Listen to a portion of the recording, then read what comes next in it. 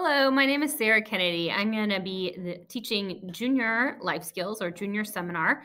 Um, this is a class, this is required for the juniors this year. This is the first year that we have this as a requirement. Um, I really think that junior year seminar is really fun. I, you know, last year I was in the back, like taking notes in my own notebook. Um, it covers topics such as, you know, life hacks and how to change a tire and how to, you know, sew a button on. Um, it talks of we we have presenters about resume and interview skills. Uh, we do a unit on personal finance and even a unit on self defense. Uh, among other things.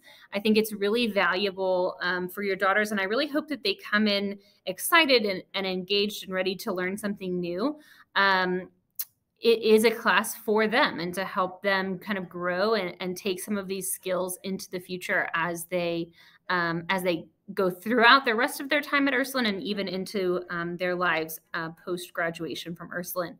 Um, so, like I said, I think it's really fun. I think it's a really great um, class and a really great opportunity. It is a pass fail class. Um, there's not a ton of homework. Occasionally, there will be um, some expectations of them in terms of, you know, getting things ready for the class. Um, we have a lot of guest speakers and other presenters that come in and work with the girls on these different units. Um, they can always come to me. They can always ask any questions of me. Um, they can send me an email or a Teams chat. Um, I'm available during my free periods, periods one, seven, and eight during the fall.